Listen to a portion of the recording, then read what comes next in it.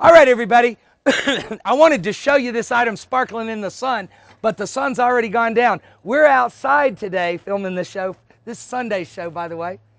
you ought to fan the audience. Y'all want to be on TV? Uh, everybody goes like this, no, no.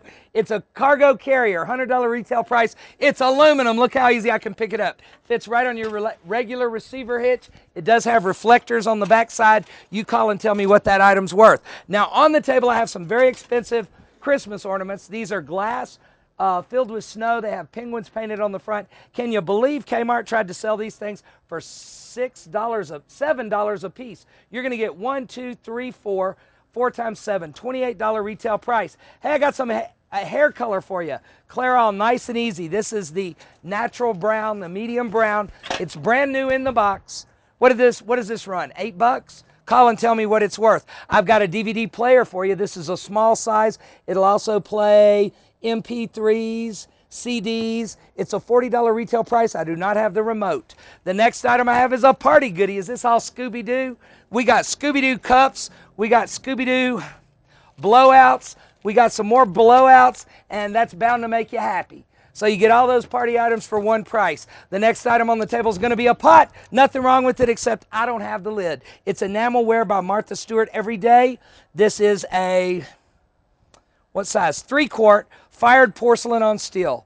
Blue color. And give me a bid. Hey, I've got this uh, pendulum lamp. This would be great over a kitchen island maybe a breakfast bar, something like that. It's got a, a thick frosted globe. It's in a sort of an arts and crafts style or a, what else do they call that? Arts and crafts mission style. It would go good around with the architecture to here. And give me a bid on this item, $55 retail price. Hey, I've got an infrared heater for you. It hooks up on to your propane tank. Oh, show them the propane tanks. It hooks up on one of those. and I've got everything in here. You know, this is, has a piezoelectric starter and even an oxygen depletion sensor. $60 retail price, 15,000 BTUs.